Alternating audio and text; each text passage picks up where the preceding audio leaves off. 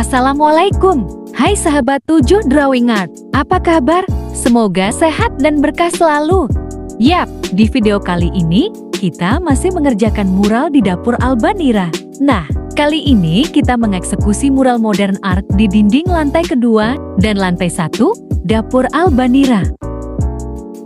Nah, mau tahu hasilnya seperti apa? Tonton terus videonya sampai selesai dan jangan lupa like, komen, dan subscribe.